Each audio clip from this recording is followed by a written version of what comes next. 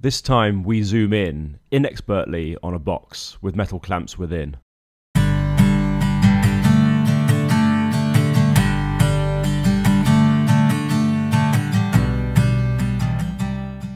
But not quite yet. The actual purpose is to stop people falling off Alan the Lifeboat's narrow bow platform at sea, even those we'd rather did. So back to the clamps. I've plucked out this fine pair of heavy duty vertical mounting clamps first, they are well galvanized, but to fit Alan's aesthetic, we're going back to black with a primer laced with lots of zinc. I stuff tissue into the holes to avoid gooing up the threads with paint. This matte finish isn't the final look, but will do for now. This is where they will go. One each side of the boat, as low as possible, and round to the side far enough that I hope they will provide stability, but not get in the way of mooring, and so on. I'm marking the first hole with a full-size drill bit first, then having learned lessons from the past, drilled the first hole, placed the bolt through, and then only marked and drilled the others then. I found that marking and then drilling all the holes first tends to lead to a calamity of misalignment. Holes made in glass fibre, done. Now for gunge. My favourite Bostik for something serious like this, and I'm careful to make sure there's a good seal around the edge, the holes, but also around the top of the bolt thread so water can't creep through. We have success on the outside, but that leaves the inside. In a manner similar to that you've seen me employ before, I've removed a small patch of insulation and plonked on those extra thick washers to get a really wide, strong clamping force. Very happy with that, and then I patched it up. Once again, you'd never know that I'd been in there. Those who were fans of my jammed spanner solo bolt tightening technique in the transom bracket installation episode will be familiar with this site. Without the use of an old wintertime clip that sat in the to use folder for months, it's time to unsheath some seriously long lengths of new purchases and magically summer again, here's the length of railing tube that should probably be shortened somewhat from its 6 metres. People will know I now have a new angle grinder, but perhaps some sombre footage of the old blue grinder by way of a tribute. The aluminium needs to be prepped for use, and that generally means an etch primer, both inside and out, and then a couple of good coats of marine top gloat gloss paint.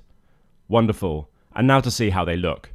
The brackets have closed bottoms, so it's not merely down to a grub screw or two to stop them popping out down and into the sea when most needed, and I've kept them overly long, to be cut down a little bit later, as I expertly act out here with precise measurements. I chopped them down to size with the spinny thing, and then swapped out the cutting disc for the flap wheel and rounded off the sharp ends. They're pretty much done, so I can put them in the brackets and tightly lock in the grub screws. The softer rail metal actually works better than if I'd used hard stainless steel tube, as the screws wouldn't have been able to really grip. More brackets, more tissue paper stuffing, and 360 degree spray priming later, we have a T-bracket neatly on top of each of the vertical supports. Even without any braces, they are admirably stout and non-wiggly. If I'd merely placed a crossbar from here at the top to the other top, there'd be barely any room to lean forward, so I'd need an extension, or extensions. Two shorter sections of tube will do the job, and they fit into place in exactly the manner you'd predict. On the ends of those, I now need to do a little more customization. These flat plate brackets are a good start, but not quite right. I don't need both ends, as one would end up sticking out. Naturally, I'm going to chop them off.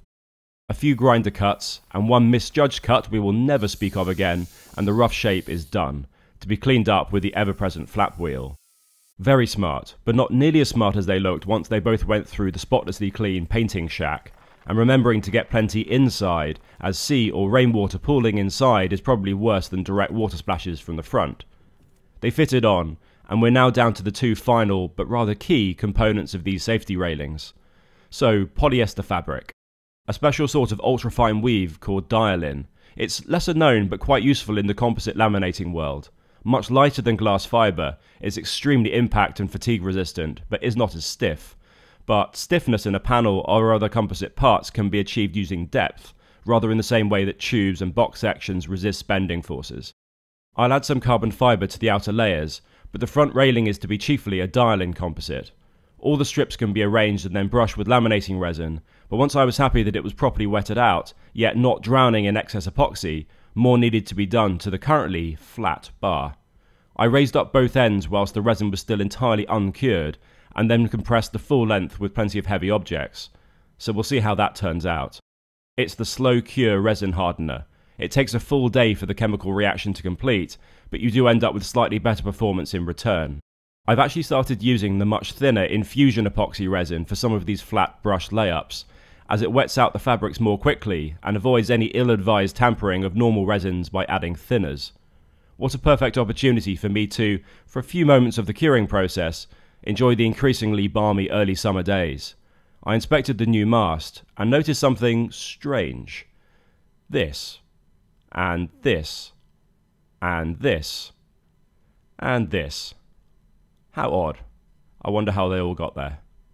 I contemplated the wisdom of these four special channel members over a bowl of fresh egg tortellini, the chosen fast food of the gods. Naturally, my thoughts also extended to my branded Alan baseball cap, which I urge you to join me in owning. And the front bar was complete. I added some lightweight box section as there was still a little bit more flex than I wanted, and then time to do a wrap. I've used heat shrink wrap on grab handles to good effect previously, so got hold of some extra wide stuff in tests that a while back I noticed could be tricky to shrink uniformly.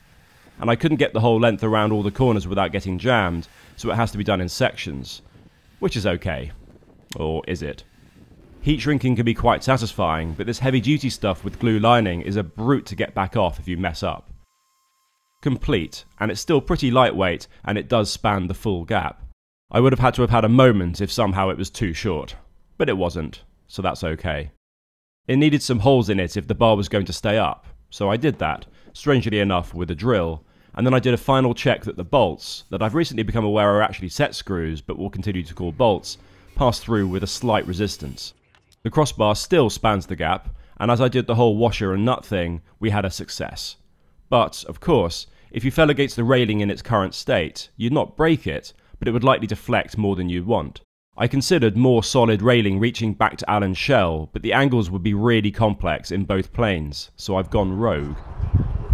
You see, I've still got to finish the uh, the uh, the fairing around the base of the uh, the H cow, but um, I hope you can also notice I've got some very very smart rubber caps there to avoid draft when I don't want any. When I was ordering the masts wire ropes from the excellent custom guys at GS Products, I added two more to the order. They need robust anchors, so I casually drilled some holes in Alan's upper shell. At first, I used the diameter drill that matched the size of the holes in the eye plate, but then, with some trepidation, enlarged them both to about 10mm. Why, you may ask? Well, after months of people shouting at me in the comments across a number of episodes, I do now have a rivet nut setting tool. A novel concept to me, I had to get familiar with these new sorts of rivets, new to me at least, and that included some dry runs to test and making sure I was compressing them the right way round. The enlarged 10mm holes in the fiberglass were of course because these set nuts are wider than the bolt diameter that would in due course run through the threaded bore, and I opted not to countersink into the fiberglass.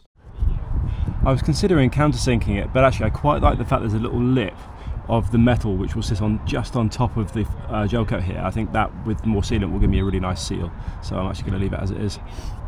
Right, riv nutting commences. I'm still a beginner, and it's harder than normal pop riveting as you need to make sure all the angles are perpendicular and there's no satisfying snap on completion. You seem to need to judge when there's enough expansion behind the glass shell. Too much, and perhaps I could damage the shell. Back out with some more sealant, just basic polyurethane this time, and the same thought process. Some to squidge under the metal once bolted down, some around the holes, and some inside the holes, because why not indeed? Finally, some more sealant under the heads of the bolts to complete the seal. So, that's one done, and it was important to position these carefully so the wire ropes can reach. I set the turnbuckle tension at a halfway along its length so I didn't end up with a disaster, too long or too short. And I did the starboard side one too. Even I'm not obtuse enough to forego this symmetry. I did double check the lengths, and it's then time for the finishing touches. The jaws of the wire ropes won't fit around the thick steel of the tube clamps, so once again a moment for Grinder Mark II to shine. I flattened the protrusion, for which it forgave me, checked it now fitted, and then did the paint thing one last time. I connected the wire ropes, tensioned them, surveyed my work, found out that the whole structure was pretty damn strong, confirmed that it matched Alan's industrial aesthetic and not some dainty, curvaceous yacht railings, and then I surveyed the scene from below. I don't like it. I really don't like it. The space it gives people on the bow is fine, but for the size and weight, the crossbar frankly isn't much better than if I'd used the length of tube, whether or not I paid to have it professionally curved to follow this sort of shape. I didn't originally envisage these extenders, so the customized shape that drove the project is rather redundant. But it's there now. I simply don't have the time to redo it before launch, and I'm still rather emotionally invested in the composite crossbeam. Right. Bye.